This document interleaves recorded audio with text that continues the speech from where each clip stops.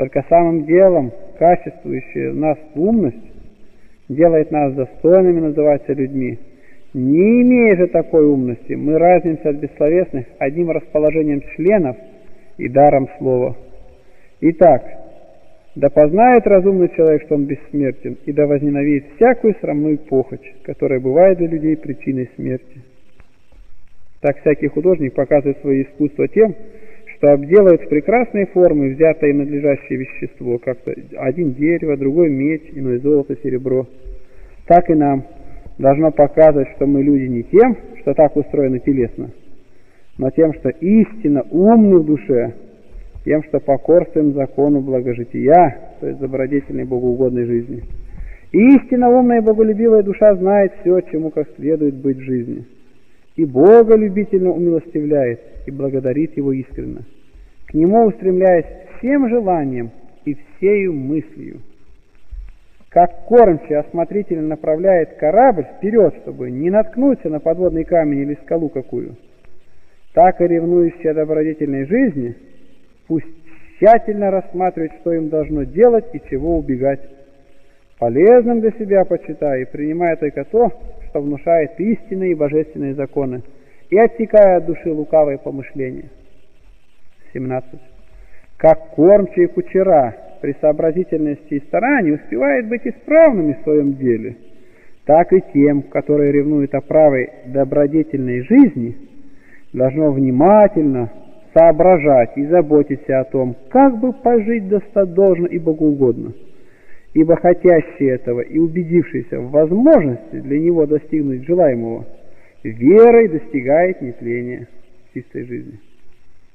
Свободными почитай не тех, которые свободны по состоянию, но тех, которые свободны по жизни и нравам. Не должно, например, называть истинно свободными знатных и богатых, когда они злы и невоздержаны, потому что такие суть рабы чувственных страстей. Свобода и блаженство души составляет настоящая чистота и презрение привременного. Напоминай себе, что непрестанно должно являть себя умным, но являть добрые жизни и самыми делами. Так и больные находят и признают врачей спасителями и благодетелями не по словам, а по делам. Чья душа действительно умная и добродетельная, это обнаруживается во взоре, поступе, голосе, улыбке, разговорах и обращении. В ней все изменилось и приняло благообразнейший вид. Боголюбивый ум ее, как бодренный привратник, затворяет входы для злых и срамных помышлений. Рассмотри окружающее тебя и знай, что начальники и владыки имеют власть над телом только, а не над душою и всегда содержи это в мысли своей. Почему, когда они приказывают, например, убить или другое, что сделать неуместное, неправедное и душевредное, не должно их слушать, хотя бы они мучили тело.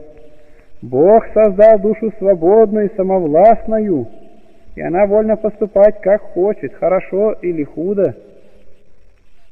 22.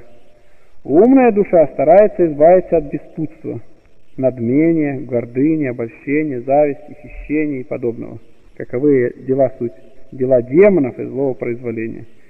Все же то при заботливом старании и внимательном обдумывании успевает совершить человек, у которого пожелание не устремляется к низким удовольствиям.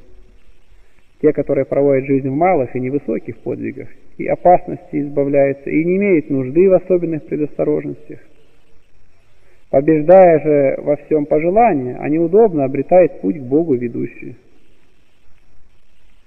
Умным людям не нужно слушать всякого рода беседы, но только те, которые приносят пользу, которые ведут к познанию воли Божией, ибо она есть путь, которым люди опять возвращаются к жизни и свету вечному. Тем, которые стараются жить добродетельно и боголюбиво, надо отстать от самомнения и всякой пустой ложной славы, и стараться о добром исправлении жизни и сердца. Боголюбивый и непеременчивый ум есть руководство и путь к Богу. Никакой нет пользы изучать науки, если душа не будет иметь доброй и богоугодной жизни. Причина же всех зол есть заблуждение, прелесть и неведение Бога. Углубленное размышление о доброй жизни и попечение о душе производит добрых и боголюбивых мужей. Ищущий Бога обретает его, побеждая всякое похотение, непрестанную к нему молитвою. Таковой не боится демонов. Обольщающийся земными благами и знающий все до слова, что должно делать проводящим добрую жизнь, походит на тех, которые приобрели лекарства и врачебные орудия, а пользоваться ими не умеют и даже не заботятся о том. Посему в соделанных нами грехах не будем винить ни рождения нашего, ни другого кого, а только себя самих. Ибо если душа самоходна предается разленению, то не может быть непобеждаемой. Тому, кто не умеет различить, что добро и что зло, не пристало судить, кто добрый, кто зол из людей. Человек, знающий Бога, добр, а когда он не добр, то значит не знает Бога и никогда не будет познан от Него. Ибо единственный способ познания Бога есть доброта. 30. Добрые и боголюбивые мужи обличают в чем-либо худом людей, когда они есть на лицо. А отсутствующих не только не укоряет сами, но и тем, которые покушаются говорить что-либо о них, не позволяет того. В собеседованиях не должно быть никакой грубости, ибо умных людей обыкновенно украшает скромность и целомудрие более чем дев. Боголюбивый ум есть свет, осевающий душу, как солнце тело. При каждой из душевных страстей, восстающих на тебя, помни, что те, которые право мудрствуют и желают постановить касающиеся их свою участь на должном и прочном основании, считают для себя усладительным не приобретение тленного богатства, а истинную славу на небесах. Вот что соделывает их блаженными. Богатство як радуется и бывает отнимаемо сильнейшими, а добродетель душевная. Одна есть стяжание безопасное и некродомое, и притом такое, которое по смерти спасает стяжателей своих. Тех, которые так рассуждают, не увлекает призрачный блеск богатства и других утех. Непостоянным и необученным не следует испытывать умных мужей. Умен тот, кто Богу угождает, и больше молчит, или если говорит, то говорит немного, и только нужное и Богу угодное. Стремящиеся к добродетельной и боголюбивой жизни ревнуют о добродетелях душевных, как о таком стяжании, которое составляет неотъемлемую их собственность и вечное утешение. При временном же пользуются они лишь столько, сколько нужно, и как дает и хочет Бог, уподобляя его с весельем, всяким благодарением, хотя бы то было и очень умеренно. Ибо богатый стол питает тела, как вещественное, а познание Бога, воздержание, благость, благотворение, благочестие и кротость обожают душу. Властители, которые принуждают делать неуместные и душевредные дела, не господствуют над душою, которая создана самовластную. Они вяжут тело, но не произволение которого господином пребывает умный человек по дару Создателя своего, сильнейшего всякой власти и принуждения и всякой силы. Почитающий несчастьем потерю денег или детей, или рабов, или другого имущества, доведают, что, во-первых, должно быть довольными тем, что подает Бог – а потом, когда потребуется отдавать, то обратно, с готовностью и благодушием, не мучая себя скорбью по причине лишения того, или сказать лучше, обратного возвращения, подобно тем, которые, использовавшись не своим, попользовавшись, опять отдают то обратно. Дело человека хороших качеств не продавать свободу свою ради приобретения богатства, хотя бы достающееся ему было очень значительно. Ибо сну подобны житейские блага, и богатство имеет только призрачный блеск, неверный и маловременный. Люди с истинно человеческими достоинствами по назначению вышеизложенному должны столько стараться о боголюбивой и добродетельной жизни, чтобы их добродетельная жизнь сияла между другими людьми, подобно тому, как малая парфира, набрасываемая поверх белых одежд, в украшении им выдается и бывает всем, всем заметно ибо таким образом надежнее будет их ревность о душевных добродетелях. Благоразумным людям должно осматривать свою силу, рать и держать в строю находящиеся в душе добродетели, чтобы таким образом быть всегда готовыми воспротивиться нападающим страстям, сущую в душе их силой, ратью добродетелей, естественно дарованную им от Бога, таковы суть, против красоты всякой душевредной похоти, воздержания, против нужды и бедности терпения, против досаждения и гнева, незлобия и подобное этому. Добрым и мудрым человеком вдруг сделаться нельзя, но это достигается внимательным обсуждением, упражнением, опытом, продолжительным подвигом и, главное, сильным желанием доброго дела. Добрый и боголюбивый человек, истинно познавший Бога, покоя себе не дает, делая все без исключения угодное Богу. Но такие мужи редко встречаются. Людям, не имеющим природных к добру расположений, не следует в отчаянии о себе опустив руки, не бречь о боголюбивой и добродетельной жизни, как бы она ни была недоступна и недостижима для них, но должно им подумать и посильнее приложить попечение о себе. Ибо хотя и не возмогут они достигнуть верха добродетели и совершенства, но всячески они, думая о себе и заботясь, или сделаются лучшими, или, по крайней мере, не станут худшими. Это немалая польза для души. 42. Человек по уму соприкасается с неизреченной божественной силой, а по телу имеет сродство с животными. Но немного таких, которые, как настоящие люди, умные, стараются обращать мысли к Богу и Спасителю и иметь с Ним сродство. И это показывает делами, добродетельной жизнью. Большая же часть людей несмысленной душою – оставив то божественное и бессмертное всыновление, склоняется к мертвому, бедному и маловременному сродству с телами. И как бессловесная мудрость только плоском и похотью разжигаясь, отлучает сами себя от Бога, и душу с неба не сводит пропасть плотских мучений. Муж умный, помышляя о сопребывании и общении с божеством, никогда не прилепится ни к чему земному или низкому – но устремляет ум свой к небесному и вечному, зная, что воля Божия сия вина всякого добра, источник вечных благ для людей. Есть та, чтоб человек спасся.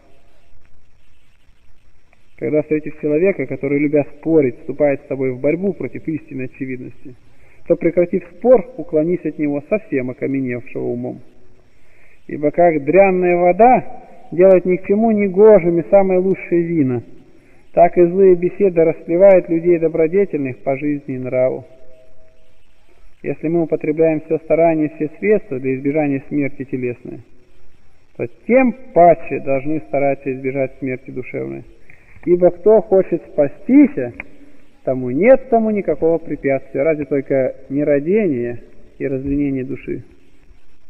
А тех, которые не любят узнавать, что им полезно и что должно почитать добром, можно сказать, что они не в добром здоровье. У тех же, кои, познав истину, бесстыдно спорят против нее, умершлена разумность. Нрав их сделался скотским. Не знают они Бога, и душа их не озарена светом. Разные роды животных произвел Бог словом своим для нашей пользы. Одни для употребления в пищу, другие для служения – а человека создал Бог, чтобы он был зрителем и благодарным истолкователем его дел. Об этом надо настараться людям, чтобы иначе не умереть им, не узрев и не уразумев Бога и дел его, подобно животным бессловесным. Ведать надлежит человеку, что Бог все может. Тому же, кто все может, никто не может противиться. Как из не сущего все, что не восхотел, сотворил он словом своим, так и ныне – все творит во спасение людей. Небесные существа бессмертны по сущей в них доброте, а земные стали смертными по причине находящегося в них самопроизвольного зла, которое у неразумных умножается от них, от их разленения и неведения Бога. Смерть для людей, кои понимают ее, есть бессмертие, а для простецов, не понимающих ее, есть смерть.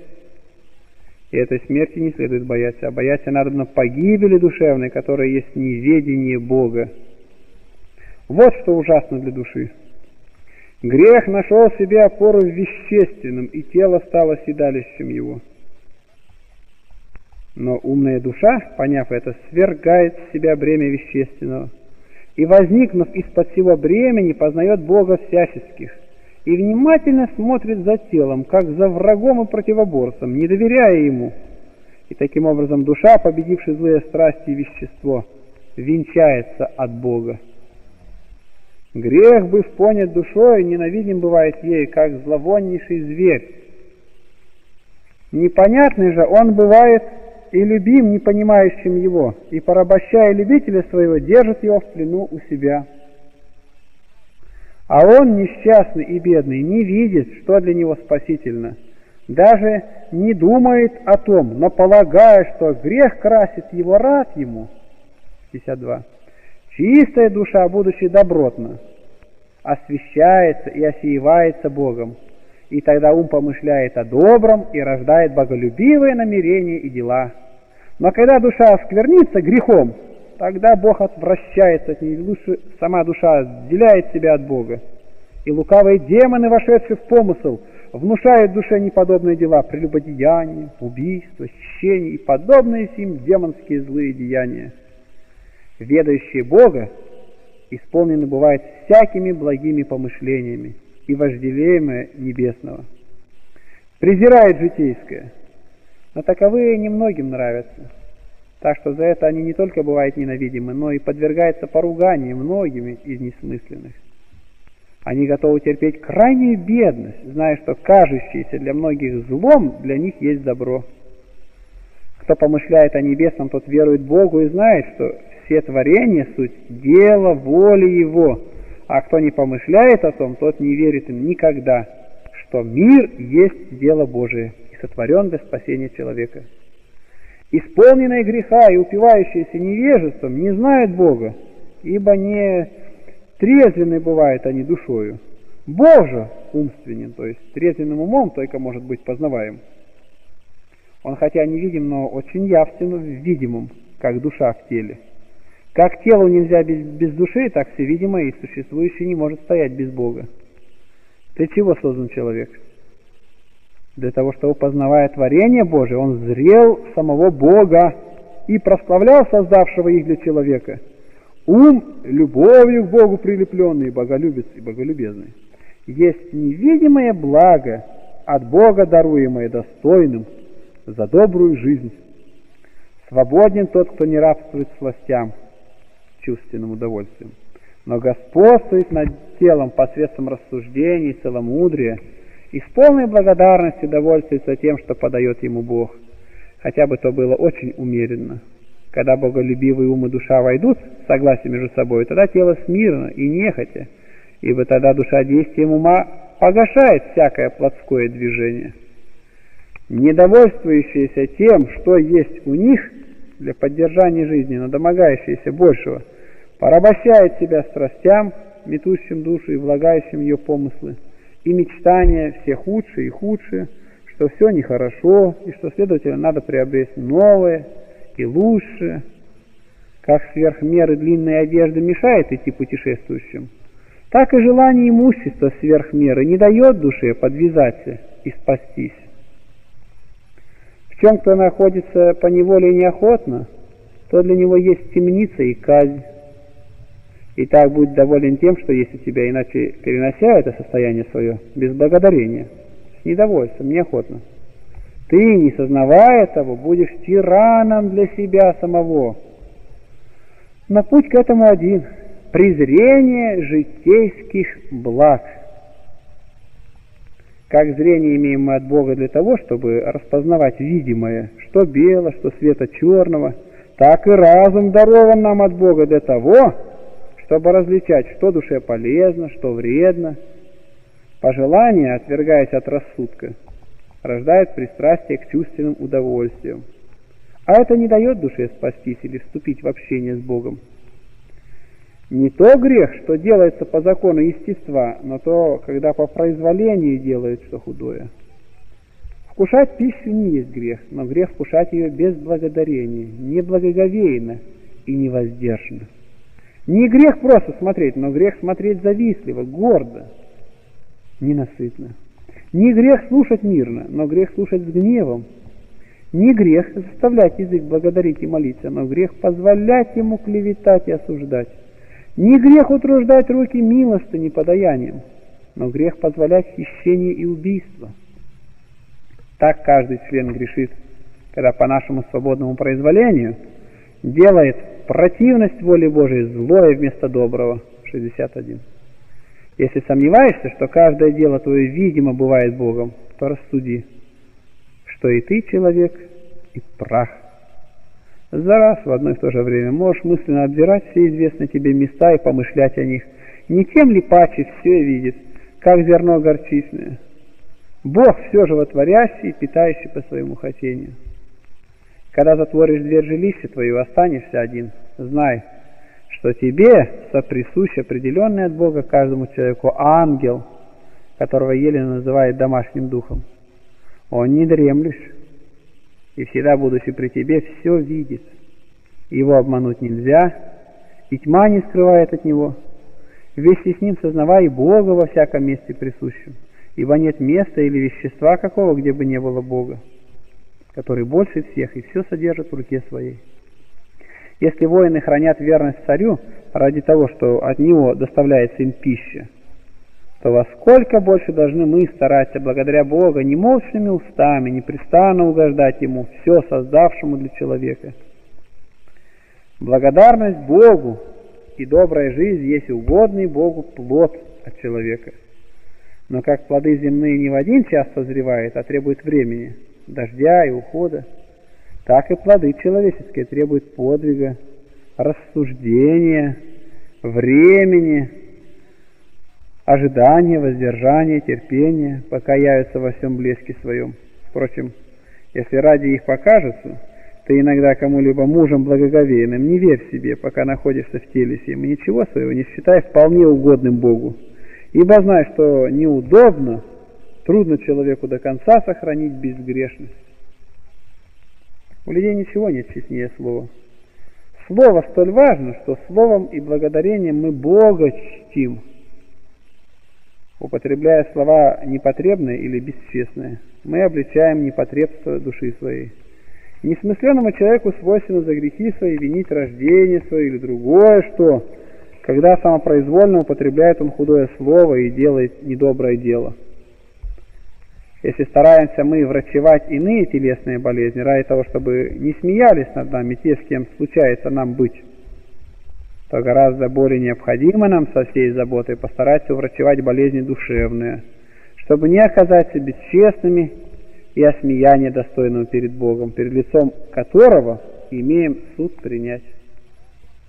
Ибо, имея самовластие, мы можем, если захотим, не делать худых дел даже тогда, когда возжелаем их.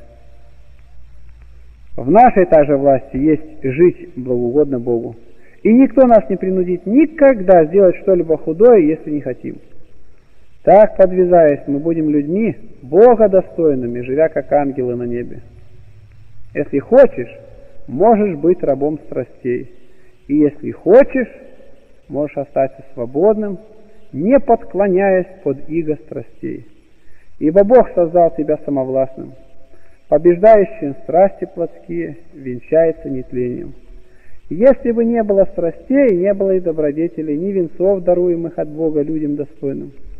Не видящие, что для них полезно, и не знающие, что добро, слепотствует душою, и рассудок их ослеп.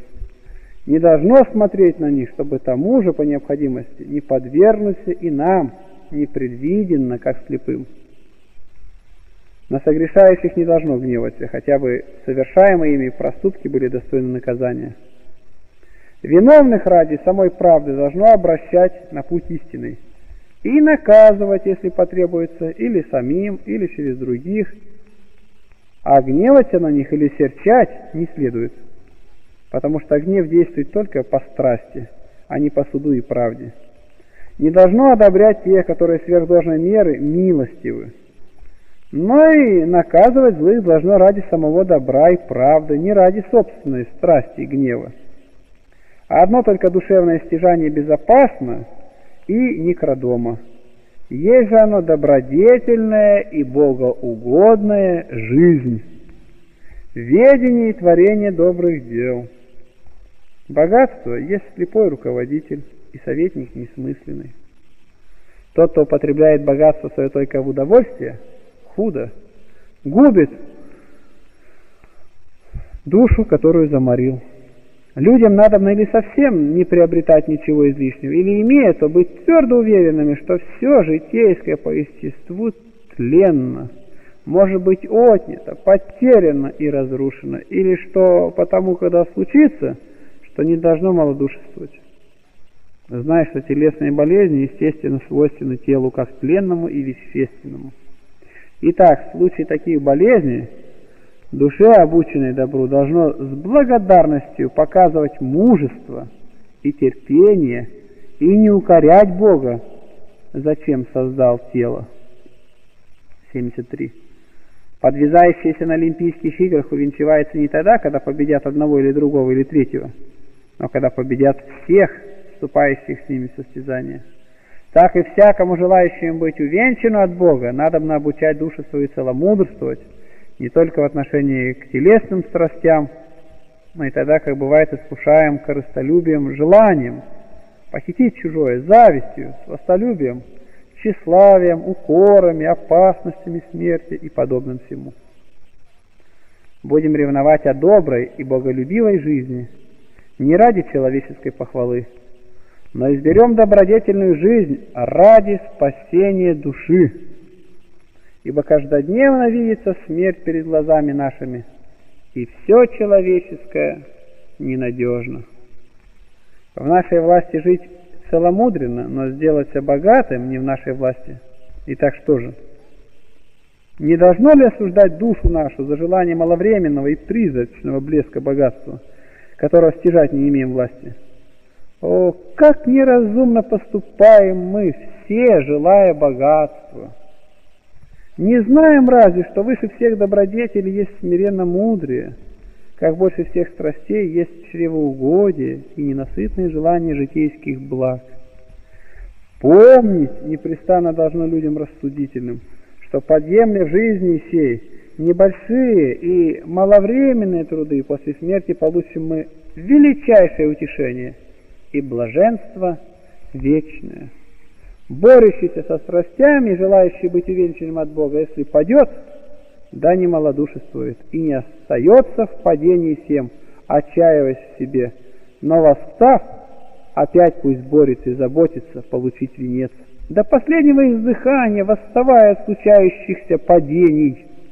Телесные труды – суть орудия добродетелей и спасительны для души. Лишение житейских удобств людей мужественных и борцов соделывает достойными венцов от Бога. И так должно в жизни сей умертвить члены свои для всего житейского, ибо мертвый не будет уже заботиться ни о чем житейском. Душе умной и подвязающейся не должно тотчас падать духом и устрашаться, когда случится что скорбное, чтобы не быть осмеянной за боязливость. Душа, увлекаемая житейским блеском, выходит из своего чина. Душевные добродетели делают нас достойными вечных благ, а самопроизвольные грехи человеческие – суть причина вечных мучений. Умный человек борим бывает страстями душевными через чувства телесные, которые есть у разумных тварей. Телесных чувств пять – зрение, слух, обоняние, вкус и осязание – Через эти пять чувств, подпадая четырем своим собственным страстям, бедная душа берется в плен. Эти четыре страсти душевные такие – тщеславие, жажда утех, гнев и страх. Но когда человек с мудростью и рассуждением, хорошо повоевав, одолеет и победит страсти, тогда уже не бывает борим, но мирствует душою и увенчивается от Бога как победитель. Из останавливающихся в гостиницах некоторые получают постель, а другие, не имея постели, ложатся на полу и засыпают так же крепко, как и те, которые спят на постели.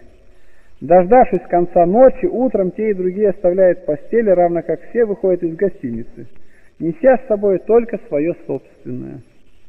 Таким же образом и все шествующие путем жизни сей, и те, которые жили в умеренном состоянии, и те, которые пожили в славе и богатстве – выходит из жизни этой, как из гостиницы.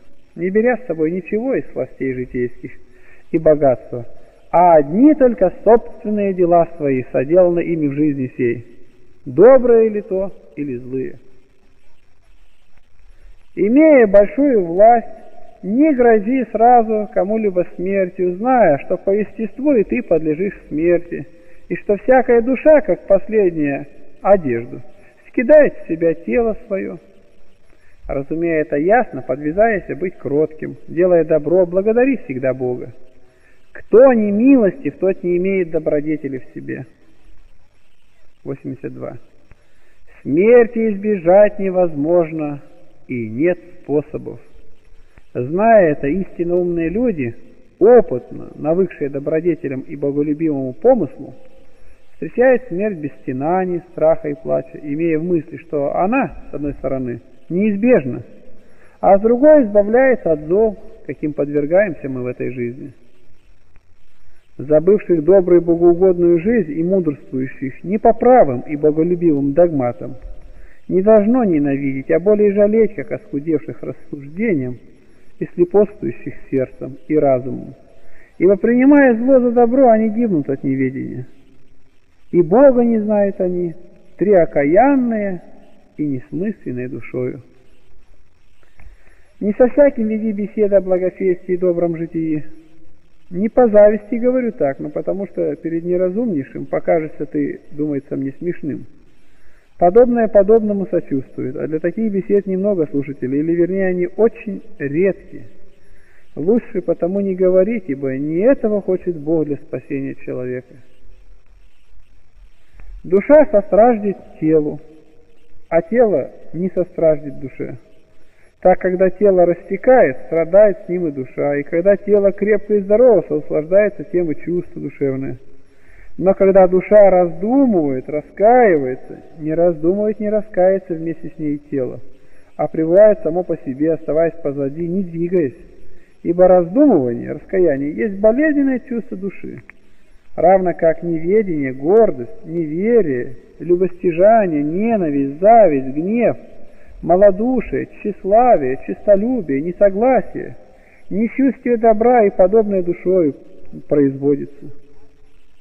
Помышляя о Боге, будь благочестив, независтлив, добр, целомудр, кроток, щедр по силе, общителен, не спорлив и подобное.